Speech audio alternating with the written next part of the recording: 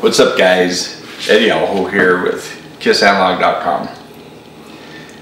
This is another piece I need for my new lab. It's an LCR meter so I can read inductance, capacitance, and resistance. And shopped around a bit. I think this one had pretty good specs and a pretty good price. Let's take a look.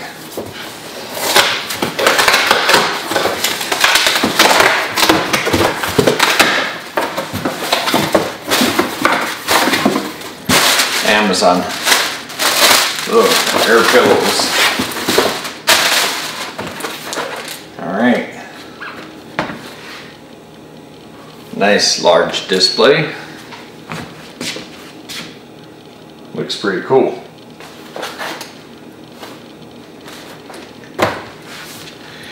All right, let's open that up.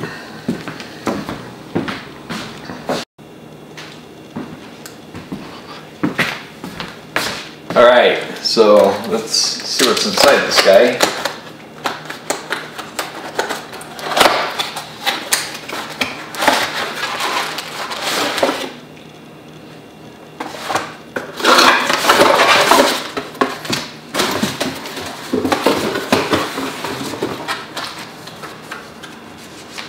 Okay, this looks like, uh, what is this? Calibration, oh, it's a test report. Okay, so it looks like calibration slash test report. Manufacturer Fluke. Now that's interesting. That's really interesting. It says Fluke here, model 9100. Okay. Maybe that was the instrument they used to calibrate. And looks like a, actually a nice little booklet here. Huh. That actually looks pretty nice.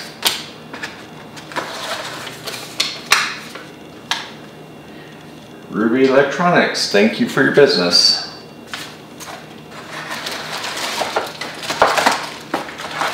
Okay, it's got some nice, nice test probes here.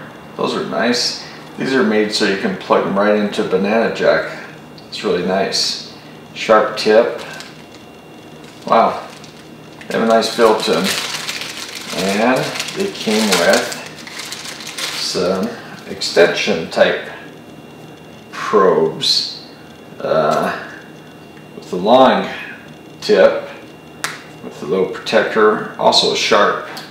They have a nice feel as well. And these are tweezers. This is so you can measure small surface mount or through-hole components. It's pretty cool. Okay, wow. That is a neat probe.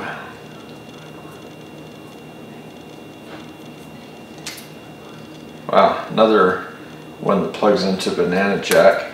That is very interesting. It has two probes here. You know, I don't even know what this one's for. I will have to do a little investigation and find out what this one's for. Huh.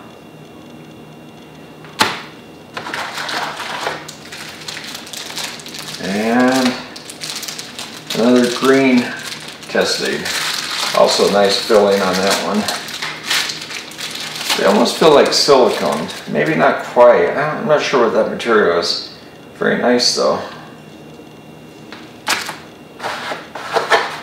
And we got some big alligator jaws. Huh. Okay.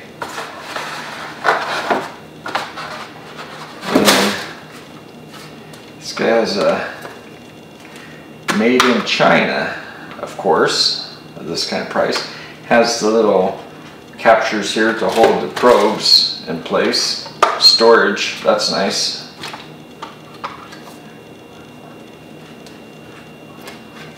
Has a nice feel to it. This is a nice rubberized case. Wow. It's a nice display. That's huge. Wow. And has guard, two guard posts, plus minus, another plus minus for blades, and a guard up here too.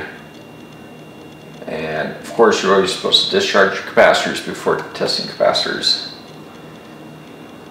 Huh. That is very nice. You can't see that illuminate because I've got so much light here, but I don't know. Maybe you can see that. That's a nice meter. A CEM DT9935 we will put this in action and I will show you how it's going to work. Nice buttons here though.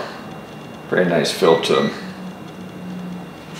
Oh, I'm impressed. I think that's going to do the job.